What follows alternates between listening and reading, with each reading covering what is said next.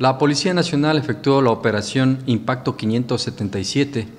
en la cual se detuvo una persona requerida por la justicia a través de la Unidad Nacional de Detención de Personas de Alta Peligrosidad requeridas por la justicia. De esta manera, a través de técnicas especializadas de investigación y también a través de inteligencia, se pudo determinar la localización de una persona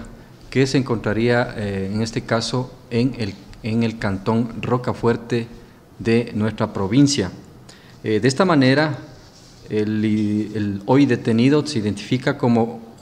Jacinto Joaquín M., de nacionalidad ecuatoriana de 54 años, quien estaba prófugo de la justicia y por un presunto eh, responsable de la muerte de una ciudadana en el 2017. Esto ocurrió el 19 de febrero en el sector de Ventanillas, cuando se encontró un cuerpo sin vida de Elizabeth Azucena Gamarra Alcíbar, de 52 años, quien presentaba ocho heridas cortantes en la cabeza con fractura en el cráneo, brazos y muñecas. De esta manera, luego de las investigaciones correspondientes, se desprende que el hoy detenido es el presunto responsable de este delito.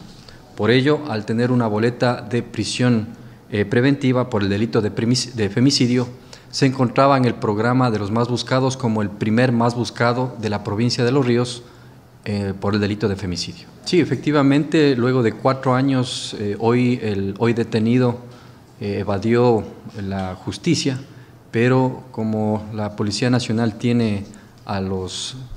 servidores policiales profesionales y con la información correspondiente, inclusive en algunos casos dados por la ciudadanía, hoy tenemos estos resultados que son satisfactorios y de esta manera hay cero impunidad.